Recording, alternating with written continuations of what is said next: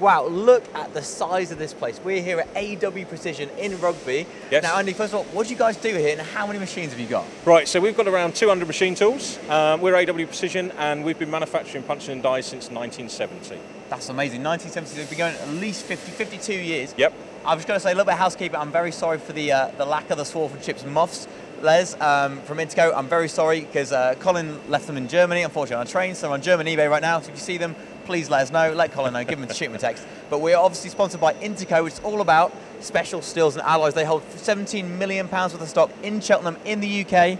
So if you need any special steels, get in touch with Interco. Right. That's, that's housekeeping done. Let's keep walking. Yep. Where are we going to go first? So we've got material right, stock so here. our shop floor is all set up in process. So we've gone from raw material stock, which is predominantly tool steel, so high speed M2, Vanadis. We've got Calmax, all sorts. We then go into the turning section. And it's all round stock here. Why all is it all round round? stock because all our products are predominantly round. Yeah, it makes it easy. Then you don't have does. to deal with any. any we do have square stock, but that'll be on our milling section. So we've got conventional CNC, manual turner. We also have our sliding head lathes from start. And you've got so many different kinds of machines here. We here. do, we you've do. got lathes, grinders, service grinders, manual grinders. You've got centerless. I mean, we you know have everything. We have everything. We are probably one of the largest subcontractors of such diversity in the UK. Um, we've got everything from turning, as you say, grinding, milling, five axis, three axis, And you see, you've got all of these collet systems for holding Yep. the work holding and for holding the tooling. I guess it's a lot easier that you, only, you know you're only going to deal with bar stock. Absolutely. That probably makes brings down the, the work holding it, costs it does. quite a bit. It does. The and other I guess you see some band saws around the place. we do, yeah. The other competitive advantage we have is we do our own in-house heat treatment. So we also use external as well, depending on quantity, but we do our own in-house heat treatment. So product is manufactured on our turning section and then overnight into heat treat and back out again. We have very short lead times. We're talking five to seven days. So these are our fit- vacuum furnaces. You can fit a lot of material in here at once. I We guess can. The, the bar stock or the round parts will fit in in Yep. shelving and baskets and whatnot. Two Fanuc Robo drills sat next Yes. to the turning centre. What are these? Are these doing secondary operations? These are doing separate operations, so some of our products require a spring-loaded pin. This is used to produce part of that spring-loaded pin. Right. Okay. So these are really special, specialised applications, just doing spring-loaded pins Absolutely. day in, day out. Purely for that process. And those robo, they look like some of the first robo drills that Fanuc were making. They are They've been indeed. there probably for quite a while, haven't They they? have. And they're still going strong. I would say they've probably been there for 25 years. Brilliant. And I've got to say, Colin's the camera doing the camera work today. So if it doesn't quite look look great, you can't quite see the, the, the machine beds, then I think you might have to blame Colin. And he's all the way down there. Come on, look, we've already gone down here. But you can see how big this this um, this factory is. It is. I'm amazed it's not split into different units. Normally, you don't see one massive factory with all the machines on the same floor. Purpose built for ourselves. I was going to say, have, they, have you had to have the, the foundations and the the- the Foundations are in, completely laser line floor. Um, where our big bridge 8 is. Let's keep going to the sliders. Where our big bridge 8 is, um, that's a completely reinforced floor um, for the weight of the machines. So we'll go, go and look Yeah, at that a yeah. little bit later. And that's an I guess that's an absolute beast of a machine. It is. But again, normally people are either fixed head or sliding head. You, you guys have got both here. You got you we got have some both. stars. Yeah. Um, we produce a lot of parts for our own stock to enable quick turnaround. So these machines are used for our stock production. The other machines, the other lathes are there for the ones, twos, threes. We, as I say, we produce very small batch volume. Because these sliders are all about volume production, aren't they? They are. So these are produced for our stock, and these are producing three, four, five, six hundred parts. It's nice, I guess, that you can rely on orders every month that you know you're going to Yeah. be able to make them on a bit of downtime when maybe absolutely. you've not got other things to get out the door. Yeah. What kind of lead times do you try and pride yourselves on? We try and, for a standard product that doesn't require external, so it doesn't require coating and things like that, we can do in five to seven days. If it's a standard punch or die, Let's keep going. we can obviously do it in about 24, 48 hours. 24 hours. Yes. Oh my! I guess that's probably the the, the, the tighter end of turning things round. Um, it is, but because we've got that raw stock available to us, we're able to do it. We can we can move quicker than our competitors. Which I guess is what helps you give you that competitive advantage, and also the fact that you've got all you can do all of the operations Yep. in the house. Yes. And do you outsource anything? Nope.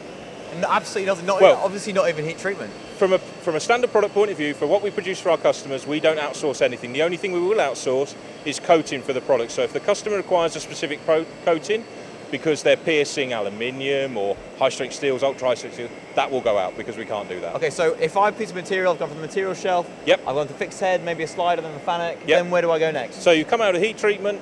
Now we're going to centreless okay, the so. I'm, I'm a bit harder now. You're a bit harder now. Okay. You- You're up to about 60, 62 Rockwell. um, we'll then put your head in a, a very, very large machine, which will bring the head down to 40, 45. Oh, is it, are we talking about the? A little heady machine in the corner. Ah, okay, so that's and a then, specialist machine. yeah. and then we go to centerless.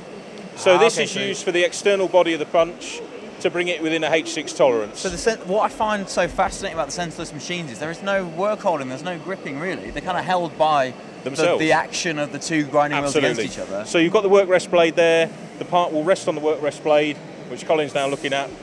Um, very manual process. Very manual process. Because you have to put it in and you set You all have to put it in. Your the fingers have to go near that machine. Which is yeah, which I guess is, is, is not the nicest for nowadays. Obviously, people are worried about thinking about health and safety a Absolutely, lot more. absolutely. So there's a lot of training involved before you're allowed on these machines. Okay, I'm surprised I'm even allowed right here. To be honest, I've got no training the whatsoever. Um, we also have automatic centerlesses that will pick the part up itself, load it into the machine, and produce the part I guess those are quite complex pieces of machinery They are versus again are. humans are just we're fantastic at Yeah. doing those kinds of jobs, aren't are. we? We okay, are. so we've just been sent to this ground, and what kind of accuracies, concentricities do you try and achieve with these machines? So we're trying to get as concentric as possible because what happens next is we've then got to put a point on the front. So we take the body down to a different diameter at the front for say 19, 25 millimeters.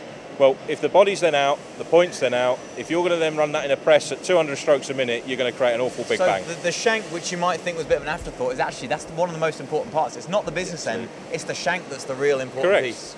And this is one of the things with our product. You look at the product, you think this is really, really simple product. Actually, there's a lot of scientific knowledge goes into it. There's a lot of experience from our guys and ladies that go into it as well. Yep, definitely. So it's material science, it's Yes. engineering knowledge. Okay, so I've just been ground down my sh- my uh, So the shank ground, is really your shank, your concentric. shank's ready to go. Where do I go next? so now we've got to decide what we're going to do. So is the punch going to have a body flat on? So are we going to go to the surface grinding section, or are we going to put a point on the front? Are we So going to put a different type of shape? things will flow into this is it. different so areas. our shop floor is set up in the two halves. So in this side of things, Let's go and have a look. Yeah. So we've got our surface grinding section over this side. So this is where we'll be putting surface flats on, body flats, head flats. Uh, we might be putting dowel slots into So the those products. are for all location inside the uh, the bolster. Did you say? That's it, absolutely. So location either within the punch plate or the die plate. Um, they have to be very accurate because the punch and die have to line up with themselves. If they don't line up, again, big bang, And I've seen problem. these stamping machines run. I've seen probably Yeah, similar yeah. stamping machines run, and they are going at an absolute rate of knots. There's They a are. big cam thing rotating around, Yeah. turning into linear motion. It, That's it's it. it's really fascinating to watch. How many parts they put out in a minute is is incredible. phenomenal, absolutely phenomenal. And again, when you look at the materials that they're actually stamping, there's a lot of science and technology that goes into these. A lot of people look at their car and just take it for granted that that hole in metal is just there. Well, Yeah. when you see what goes into that and just drilled it, but it's not. Exactly. When you're trying to hit the volumes that automotive tries to hit, Yes. you can't just have a hand drill, No, you can't have a can't. pillar drill. No, you you need to can't. be stamping them out Yeah. with a form saw. absolutely. Okay, so, so- then we'll go on to the grinding section. Yep.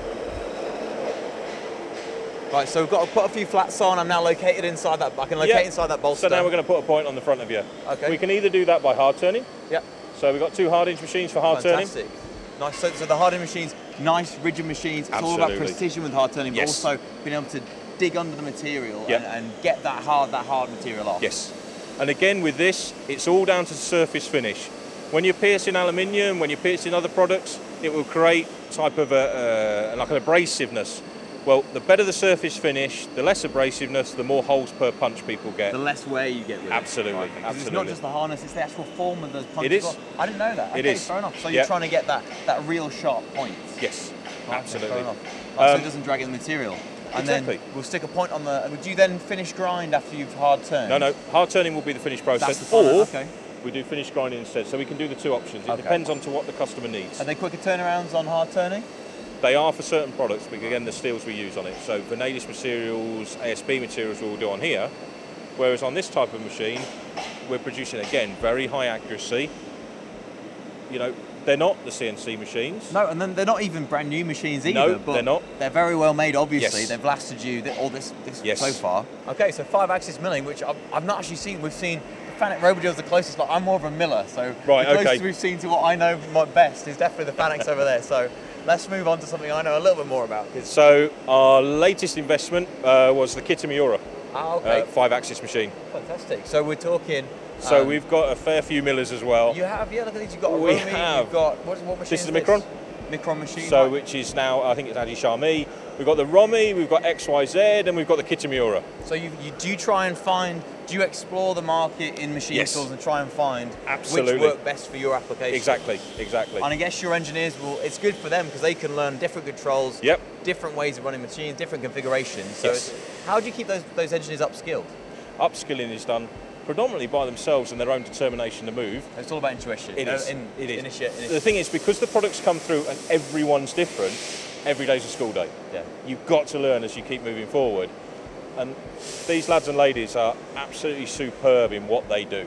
Yeah. At the end of the day, we would not be as successful and we wouldn't be here since the 1970s without these people. Some of these people here have been here 38, 39 years. Really? Oh, absolutely. And. I guess they're, st- and I guess they're still interested in learning about the brand new machines, Yeah. as well as the, the old Jones and Shipmans that you're still stripping Exactly. parts out of to, to refurbish Again, your. you know, it's all down to touch. You've got to listen to the machine, you've got to feel the machine. It sounds a bit cliche, but it's not. You can hear that machine when the grinding wheel's not working. You can feel the product, you know when something's wrong, and they can work with that.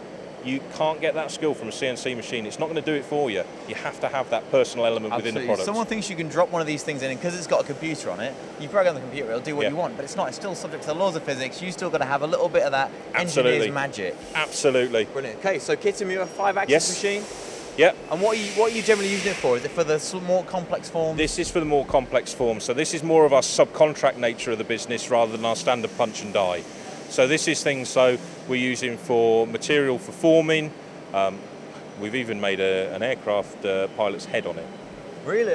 okay, just to, just to show just off to your, show what we can do. Yeah, knowledge. just to show. So if someone's looking at this and thinking, Yep. my God, you've got loads of machines, you do big jobs, you turn around 24 hours, but I've only got a couple of punches I need to make. What's your minimum order value? One. One. So if you need a punch making, You can have you one. To one you, You can one. have one or you can have 101. We specialise in the very small batch volume, so ones, twos, threes. And there isn't many people that do it. High precision, but also very competitively cost.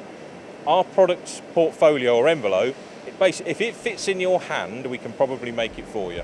to a fantastic degree of precision and accuracy because of the vast array of uh, vast assets array. you've got here and the vast array of engineering knowledge. Yes, yeah. And that's what it- it's the knowledge. It's the skill and the expertise of these people in front of the machines that can produce these products for the customer. Yes, you can buy it cheaper elsewhere. Yes, you can buy it from the Far East. Yes, you can buy it from other places, but you're not going to get the you're just not going to get the same product. Yeah, you might get it cheaper. Tolerances might be a little bit out, but this is a high precision, well-made product in the UK. Brilliant. So, if you need any punches, get in touch with AW Precision. Fantastic service. 24 to 48 hour turnaround if uh, if you If- need it. Yeah, absolutely. If it's a standard product, we can do it. If it needs something else, coating, something like that, it might be a little bit longer. But yeah, we all all day, every day we're here. Brilliant. Come to AW Precision. Check them out. They're in Rugby in the UK.